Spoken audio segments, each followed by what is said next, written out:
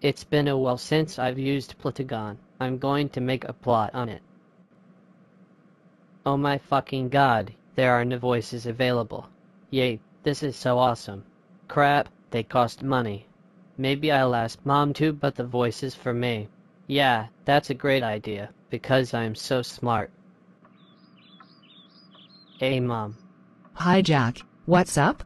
I was wondering if you could buy the new voices on Plotagon for me. How much do they cost?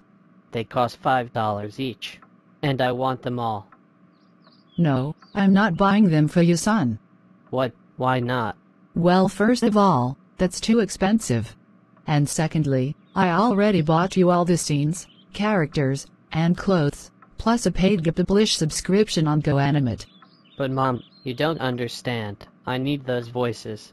Well if you want them that badly, then why don't you earn some money yourself? Screw you, you 150 year old bitch. Hey, I'm 49, you immature bastard. I can't believe mom won't buy those voices for me. She is so rude. That's it, I'm emailing Plotagon to make everything free. Plotagon, this has gone too far. Why are you charging me for everything on your website? You better make it all free, or I'll kill you all. GoAnimate is way better, even though it also costs money as well.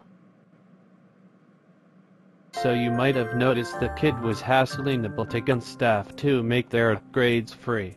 Well, it's pretty common for kids like these to do such a thing.